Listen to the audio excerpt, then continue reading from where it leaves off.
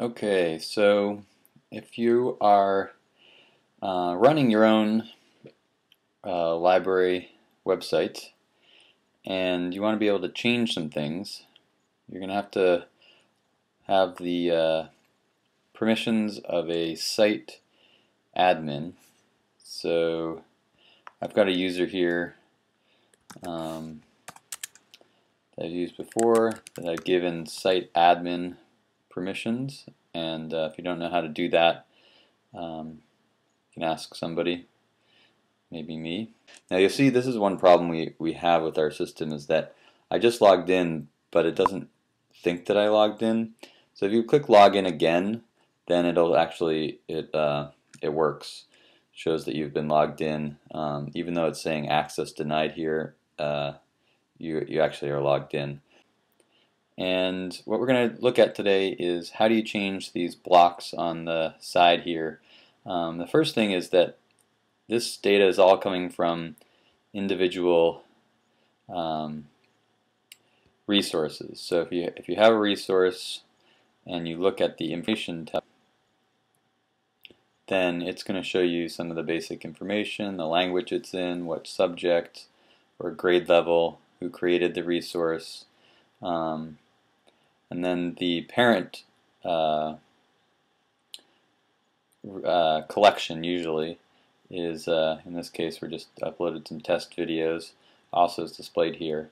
So when you're searching or browsing content, that's what gets displayed in this left-hand column over here. Um, they're called facet blocks, and each one of these would be a, a facet. So let's say, for example, you wanted to change the, some of the subject areas.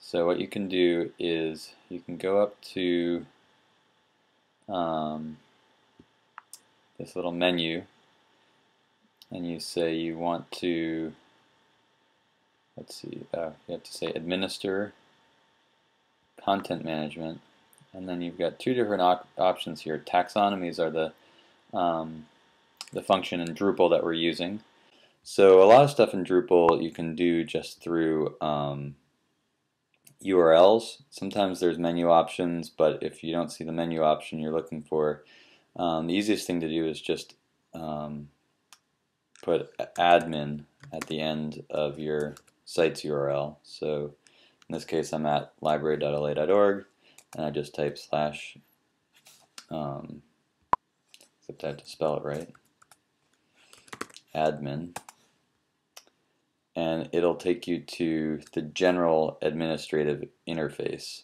Um, for the most part, you can ignore warnings like this. If you see them, they're uh, they're you know not relevant usually. And here's a you know here's a bunch of different kinds of things that you can do on the site. Um, and what we're looking for is taxonomy, which is the main functionality, and then there's taxonomy manager, which is an add-on module that makes it um, just gives you a different interface for editing um, taxonomies, and that's the one we're going to use today. Um, so the basic page here gives you a list of different taxonomies, the ability to add a new one.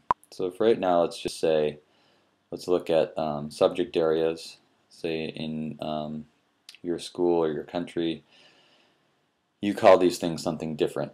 So um, say language arts, if you click on that, then over here you can just change that text. Say you call it uh, just language,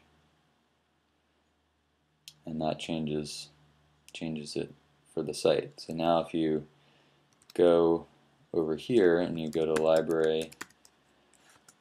I'm just opening up a new tab so that I can stay on the editing page here, but then view the actual site.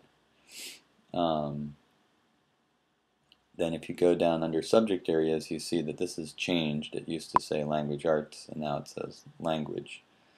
And subsequently, um, if you look at the the subcategories of of language here, um, let's say we want to edit those, you just click the little plus sign and you see the other ones.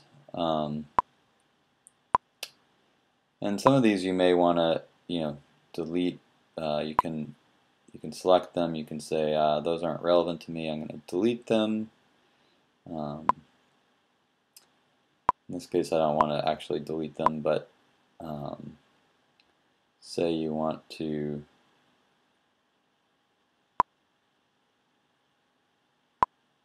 you know, change English to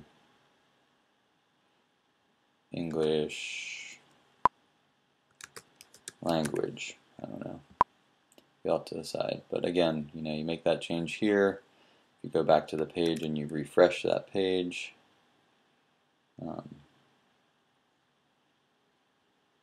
you'll see here it says English language instead of just English.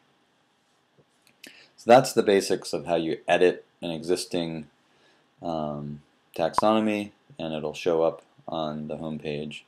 You can also, you know, if there's another subcategory you want to add, you can just say add a new one. Say let's call it uh, reading. Add that. And you can, as you see, there's a bunch of ones here. So in this case, it uh, thought I was going to put it underneath language, but since it didn't, that'll give me a good example of how you can move stuff around. You can call the parent language, and then when you save that,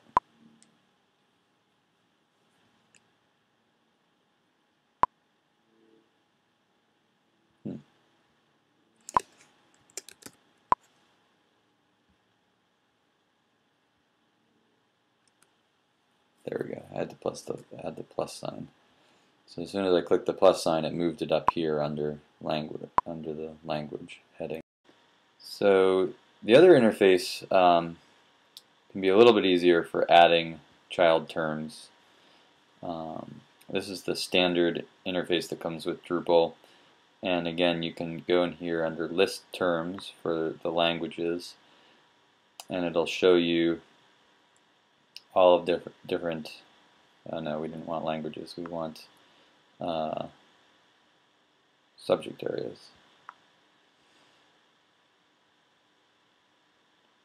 So here it's the different subject areas. It shows the ones we created, reading, uh, the changes we made. And here you can do the same thing. You can edit edit these. It's just a little bit, you know, it takes a whole page load to, to edit them. Um, but the advantage here is that if you want to add a term, you can type it in here. Say this is, uh, I don't know, uh, letters, uh, something that you study. And under advanced options, you can pick a parent term. So language would be um, the parent term we want, and click Save.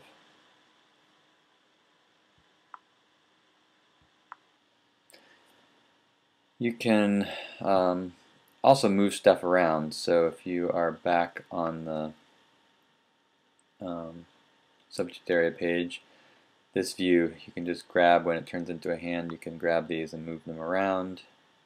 You can move things um, you know, out. So here we have um, writing, which was not in there, it should have been, so you can move that in. Um, you can move language arts down below.